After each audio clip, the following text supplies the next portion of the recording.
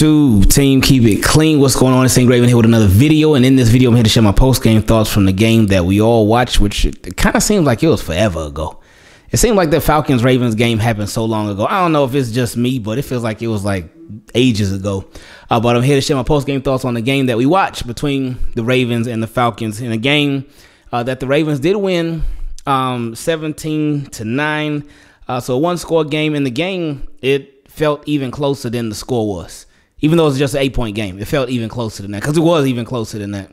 Um, but anyway, this game, uh, it was a nice win for the Ravens, and they they took care of their business.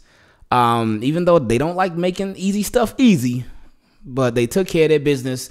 And this game, they clinched a playoff berth.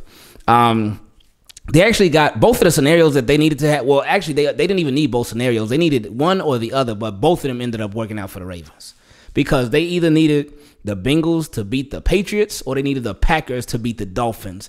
Both of those things ended up happening, and so Ravens got plenty of help. Um, so that was nice to see.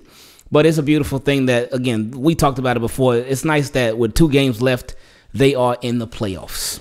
Um, they don't, no matter what, how these next two games go, Ravens have a shot. Uh, so we'll see what happens with these next two games, especially with the Steelers game being on Sunday night. So the world will be watching. Maybe uh, like the NFL must have got the heads up from the Ravens or Lamar, like, oh, he'll be back. He'll be back. Because would they put the Ravens and Steelers, Tyler Huntley versus Kenny Pickett on prime time? I mean, it it it is a nasty little nasty schedule next week. It's not like very many interesting games, but anyway, um, getting into this game, uh, and I, I, got I got to go off memory because again, it felt like it was forever ago. Um, Greg Roman, we'll, we'll, we'll start with him. With, with John Harbaugh, um, trying to think if anything really stood out about John Harbaugh in this game. I don't think so. Um, I felt I felt for uh, Falcons coach because he was going off on them refs, but he had every reason to. Like the the Falcons were getting okey doked in this game by the refs, and that was so weird to see. Like as Ravens fans, because we're so used to that happening to the Ravens. I'm, I'm, sure probably every team be saying that. Well, minus Patriots fans and Bucs fans over the past couple of years, but I'm sure every team besides those two fan bases feel like, man, we be getting okey doked by the refs every time and all the time and da da da da. But yeah, us Ravens fans, we really do feel that. So when it happens, when the shoe's on the other foot, it's like, whoa, what, what's happening here? And Falcons coach was heated at the refs all game. Let I know he was not team keep it clean. Um, but he was letting them know how he felt. I think one of the worst calls that they had go in favor of the Ravens was the holding call on Cordarrelle Patterson's touchdown. It should have been a touchdown. It should have stood. But Brandon Stephens, he did a flop job and acted like he fell. And then the refs called holding. And then after after the game, he tweeted a picture of an Oscar. So like he Oscars are given out to the best actors uh, every year and whatnot. So he knew, we knew, but he knew. Um, and there was there was some more stuff. There was a catch that they ruled incomplete where I think it was one of the tight ends like he caught the ball and then he like rolled and I think Patrick Queen tried to knock it out and Patrick Queen did loosen it up a little bit, but I felt like the guy still had control over it. There was that and then there was there was another one too, but I can't even remember what it was because that, that game it seems like it was weeks ago.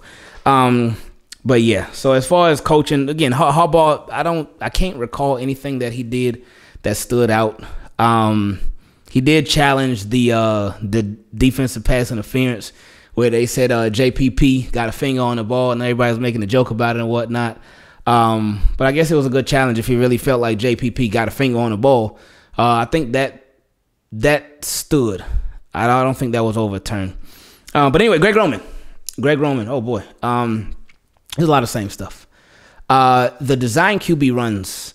Not that they must come to an end, but it, it's like Greg Roman gets so QB design run happy a lot. It, it, it happens so much. Tyler Huntley was getting busted up uh, against the Falcons. He was getting whacked against the Falcons, and some of it was his fault uh, for not sliding, but there, there were just a lot of QB design runs, man. A lot. And it was just like, man, he really still going back to and and again, the the the the poor sequence of play calling, it continued. It, it's like it's like it's it's a habit.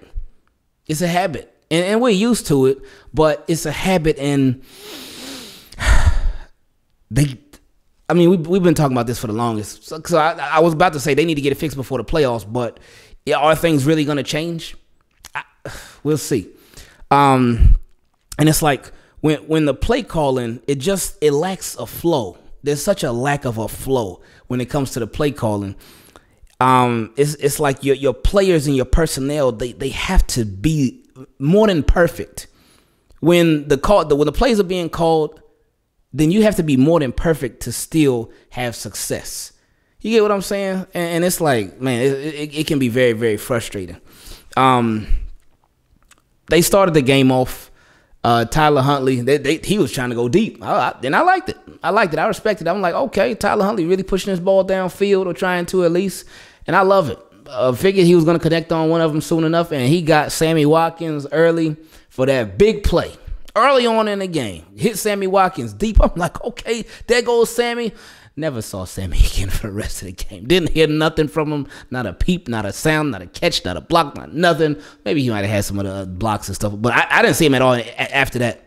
I did I did not see him at all after that. So I don't know what happened to Sammy Watkins after that. If you know what happened to Sammy Watkins after that, please let me know because I didn't see him. Um, but that was a really nice play. I had actually thought I didn't I didn't get hyped over the play at first because I thought he had stepped out of bounds and came back in. So I was thinking, oh boy, it's about to be a illegal touching, but nope, he didn't. I'm like, look at Sammy, there we go.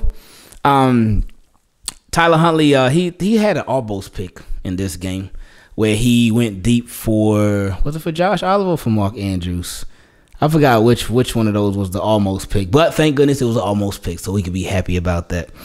Um, he there was another time where he he missed. I think it was likely in the back of the end zone that was wide open, or it was Andrews. One of them two. I forgot. He he he missed it. He didn't see him. Um, but Tyler Huntley, even though he missed, he did not miss Demarcus Robinson. And Demarcus Robinson, he made a uh, he made a tough catch. Caught a, caught the ball with his arms, um, instead of his hands. But hey, as long as you catch the ball, babe. As long as you catch the ball, and that was the Ravens' First passing touchdown since November 27th. That was their first passing touchdown to a wide receiver since week three. And that's crazy. Since week three. But when you think about where the emphasis of this team goes, it's obviously not the receivers. Everybody knows that. So maybe it's not that surprising. Um, but shout out to uh, Tyler Huntley and Demarcus Robinson for ending that streak. That was the only touchdown of the game. Even though if you look at the score, you would automatically think, oh, Ravens got two touchdowns and they kicked the field goal. But no, no, no. They got that touchdown. And then on that touchdown, they went for two. Because they had already kicked a couple of field goals. But on that touchdown, they went for two. Um, they came out five wide. Tyler Huntley just ran it in. Uh, and they converted the two point conversion. So it was nice. I was like, okay, there we go. Let's get it. But the offense, J.K. Dobbins, he again, it was, it was a lot. It's a lot of the same stuff from last week against the in the loss to the Browns. Thank goodness this was a lesser team than them. Um, cause it, this is why, like, I'm I'm I'm very worried. I'm very worried about this team, especially in the playoffs, because of stuff like this. It's like you you can't keep getting away with this stuff. I mean, hopefully you can. I would love if they can, but against better teams, you got to come a lot better than this. You got to bring it a lot better than this. Um, cause that, that's the, the stuff. Just it ain't it ain't gonna fly, man it ain't gonna fly. Um, looking at the numbers, uh, Gus Edwards, 11 carries, 99 yards. 11 carries, 99 yards. Um, J.K. Dobbins, 12 carries, 59 yards. So Gus Edwards averaged 9 per carry. J.K. Dobbins averaged 4.9 per carry. So they were both doing their thing. Um, this was more so Gus's game for him to take off. Uh, but it's like, it's weird because they would get in a red zone. They would even get like within like the 15, 10 yard line. But they'd be in a red zone. And then they'd just be like, you know what? We either not gonna run with our running backs, or if we do run, we're gonna do more QB keepers. And it's like again, the, the, the play calling, the, the sequence of the play calling is just it's still wild. It's still crazy. It's still just so it's consistent, but it's like consistently inconsistent, if you get what I mean. So again, that that's a very very big concern uh, of mine. Um, looking at the numbers, Mark Andrews, uh, three catches, forty five yards. So, um, I mean, one of those came on that deep pass that Tyler Huntley he hit him in stride, which was it was it was beautiful. It was nice. It was nice. Um, then he had two more catches for for ten yards. Uh, DeSean Jackson had one catch for ten yards. Demarcus Robinson, his only catch was that touchdown. Josh Oliver had a catch. Justice Hill had a catch. Likely had a catch. So again, Tyler Huntley was nine for seventeen um, for a touchdown. Uh, no sacks, which was good. So he's getting rid of that ball. Um, so he's learning. He's learning. Um, now I think, especially with him having got that concussion, you you just got to get down more. You got to get that because again, like I said earlier, he was getting whacked, man. But as far as it's it's, it's a backup quarterback. He, he came in, managed the game. Don't turn the ball over. Uh, if you can get a touchdown, great. But yeah, just manage the game. He did it. He did it. And again, he even got a touchdown in the process and a two point conversion. So I'm not expecting, whenever Tyler Huntley's out there, you got to have realistic expectations, in my opinion. I'm not going to expect Tyler Huntley, oh, yeah, when he's out there, he's going to throw three, four touchdowns every game. He may even run for a touchdown. He may even have like 50, 60 yards rushing somewhere. I'm not going to expect that from Tyler Huntley. He's a backup, still getting adjusted to life as a starter in the NFL. So this from him, it, it, it was all right. It wasn't great, but it wasn't like, oh man, this guy's tit. No, nah, it, it, it was straight. He's a backup. Um, the offensive line, uh, I just feel like the offensive line should have been doing more run blocking. But the Ravens, they just they, they kept getting away from and, and then like again, situation I, I I keep having to go back to this because it was so frustrating during the game. It's like, man, and even when the, the it was in the fourth quarter, the Ravens were up. They were up. And they were still like passing the ball like crazy. And it was like, what are they doing? What are they doing? This was a time when you're supposed to be putting the game away. You're supposed to be putting the game away, and they were still passing the ball. And again, they they they they, they can they can't keep getting away with this. They got like they gotta fix it. But again, who who knows what's gonna happen? Special teams. Oh boy, special teams. These Ravens, man, um, with the field goals getting blocked, it's just been crazy. Uh, Justin Tucker was lining up to kick a, a 50 something yard field goal, and I was I thought that he was gonna miss, uh, just because it was cold, it was windy. And shout out to anybody who went out to the game. Kudos to y'all. Uh, I, I, got a lot of love and respect for y'all that went out to the game. But I thought that he was gonna miss the field goal because it was cold and windy, and I'm like, hey, if, if Tucker misses, I ain't mad at him. I ain't gonna blame. I can't blame. I can't be upset. No, I can't be upset with Tucker missing a field goal. Like this dude, like has literally saved so many Ravens games and seasons and stuff just based off his foot alone. So I ain't getting mad at this dude for missing no field goal, but he didn't even have the opportunity to miss because he got blocked. He got blocked, and it's like this is this gonna become a weekly thing? I hope not. And it's like that's one area where we just know like if, if it was a one block in a season, okay, we ain't tripping. It. But it, this is back to back weeks with these blocks, and it happened. I think it happened in a couple other games too. But one thing we know, like all right, offense, they're gonna have their issues sometimes. Defense, they're gonna have their issues sometimes too. But special teams is always an area where we just know things are gonna be a okay. They're gonna be a okay. They're gonna be great. Because Harbaugh, we know he coached defensive backs before, but Harbaugh, he's a special teams coach, special teams ace. That's his stuff. That's his pride and joy, and it's been lacking. So they got to get this thing together quick, fast, and in a hurry. Like, think about that. Think about a, a game winning field goal, or even a game tying field goal, a clutch time field goal. And you lining up the field goal unit. So now we, in the back of our minds, we got to wonder, man, is, are they gonna? Is this, the offensive line gonna allow uh, the field goal to be blocked? Are they gonna let these guys like literally right through again? That's we gotta wonder about now. Every time that they kick a field goal, because it's been happening. So they they gotta get that fixed, man. Gotta get it fixed. Uh, Devin Duvernay, of course, he's done for the year. Um, and Justice Hill was at kick return. Oh, that's another thing. Andy Isabella, this was his first game up. Almost forgot about him. Um, I, I, I couldn't get too upset with him when he was on the field and, and he ain't know what was going on on that play. So I think they had to call a timeout. Uh, that I, I forgot. Tyler Huntley was talking to him. I think Pat Ricard was trying to tell him what to do too. He was just sitting there. He, he ain't know what to do. So they had to call a timeout. Um, they Ravens warned us. Ryan Mink warned us in his article about Andy Isabella. He was like, oh, he could be used on some of them jet sweeps. And boy, he certainly was. He was used on the fake jet sweeps. Two of them. Two fake jet sweeps to Andy Isabella.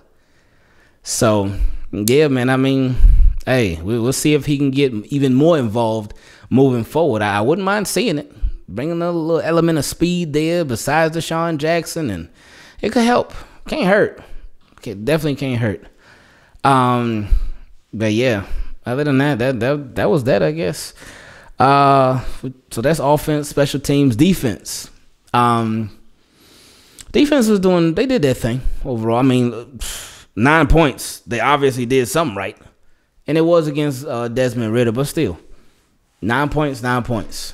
So I I take it. Like defense, a lot of times they be doing their thing. They'll have their hiccups here and there, but nine points, that's solid. Drake London, baller, baller. That dude can play. He can play. Um, that guy was he was taking it to Marlon Humphrey. Um, Brandon Stephens in this game. He, I think he, I don't remember if it was Drake London or if it was somebody else. Somebody they, they had beat him. They had beat him deep. Uh, but Desmond Ridder, he either underthrew it or he overthrew it. I think he underthrew it. But whatever it was, it was incompletion. And Brandon Stephens had got beat, but he he got up. He said, "No, nope." And you know how cornerbacks are. They they they always gonna do that. Um, but yeah, defense in this game. I think Ro- Roquan Smith. They said he had like what 15 tackles. It's like man, relax. He gotta tackle everybody, man. But at the same time, with him having those 15 tackles, we also we saw a lot of missed tackles in this game. Well, maybe not a lot, but we saw a significant amount. It's like the, those missed tackles are starting to creep back up on the Raven because we saw a lot of missed tackles last week too. So we just don't want that to be a habit because uh, that could be scary. Um, the middle of the field, this game, uh, it was getting worked. Um, it was getting exposed by Desmond Ridder. Uh, he he wasn't bad. He wasn't. There were there was sometimes in the first half where he looked all kinds of bad, but he got himself together. Um, and he he didn't look so bad uh, anymore but he just they couldn't quite put everything all together. Um, so kudos to Ravens defense uh, for stopping the Falcons from putting it all together. Marlon Humphrey, uh, he had that big play. I think that was the only turnover of the game uh, where Drake London, and that was something that they had talked about. Drake London's ball security was an issue, but he caught that big pass. I think it was on the fourth down too. Oh, that was another thing. But real quick, we'll talk about this. Then we'll talk about that after. Drake London caught that big pass on fourth down, and Marlon Humphrey punched it out, punched it out. Um, and then who recovered the ball? I forgot who recovered it, but Ravens recovered it. But the Falcons, they were not afraid of the Ravens at all. They were not scared of the Ravens. It, it seemed like John Harbaugh was actually on the Falcons. He was coaching the Falcons from all them fourth downs that they kept going for it on. Like they they were not afraid. They like Ravens. Who we don't care. We at their crib. We don't care. We going for it on fourth down. We don't care. And they didn't care. They didn't care. So um, they did convert two out of three, I think, because one of them they just handed the ball off to the running back. Then he got it. Um, Another one, I forgot what they did on the one where they didn't convert, and then they, I, well, I guess they kind of converted, but they turned the ball over on the one to Drake, the pass to Drake when Marlon Humphrey punched it out. Um, but yeah, they, they weren't scared of the Ravens. They were not scared. Uh, their running game was decent. I know their starter had like 70, like 74 yards, something like that. So he was consistently running. One thing that they were showing, they and it's like like hello, the Falcons they they get it. They were down multiple scores in the fourth quarter, with under 10 minutes left, and they were still running the ball. They're still running the ball. And see, it just it just takes me back to last week again against the Browns. How the, the, the Falcons see the Falcons, they were running the ball in the fourth quarter, down multiple scores with less than 10 minutes left. And their runs uh, throughout the game weren't half as nearly as successful as J.K. Dobbins and Gus Edwards were last week against the Browns but they were still running. So J.K. Dobbins and Gus Edwards last week against the Browns, their runs were twice as successful as the Falcons were this week against us. But the Ravens, they just stopped running against the Browns, even though their runs were popping off like crazy. So again, um, it's just the, the, the situational play calling, the sequential play call is just is frustrating. But hey, we'll see. We'll see how it goes. But yeah, man, it's um they took care of business overall. Um they are going to be playing better teams. Like you're gonna be going up against the the Falcons. I mean, the Steelers. Um, so they are a better team than these Falcons are. Um, and Steelers just coming off a high since they just beat the Raiders uh, last night. Well, when you're seeing this two nights ago. Um, so gonna have to take care of business, man. But you want to be riding a high into the playoffs as much as you can. Um, we'll see if Lamar ends up coming back this week to play against the Steelers. And if not, then all right, Tyler Huntley time again. Um, but I think it'll be important because the Steelers game, that was the last game where they they rolled what was working and they didn't stop. Like J.K. Dobbins was he was doing this thing. And Ravens, they they rolled J.K. Dobbins all the way to the victory. They I is he on a pitch count or what? I I don't know what. It's it's so weird. Ravens Ravens play calling is so weird, man. It is so weird. It's one of the weirdest things ever, but I don't know. We'll see how it goes though. Anyway, love y'all. I, appreciate y'all for listening. Thank you for 61,000 subscribers. Appreciate y'all. Thank you for supporting and thank you for just allowing us to just have a lot of fun. Um, my apologies if I'm a little bit off during this video. Um, because I'm not in the best moods right now. That ain't got nothing to do with, with football. Uh, ain't got nothing to do with the Ravens. the Ravens will mess up. But um, I, I, I appreciate y'all, man. I love y'all. Thank y'all for supporting. Thank you to all the new Team Keep It Clean patrons. Thank you to all the new Team Keep It Clean channel members. Thank you to you all for listening and being willing to listen uh, whenever you get a chance to, man. I appreciate y'all very much, and we out.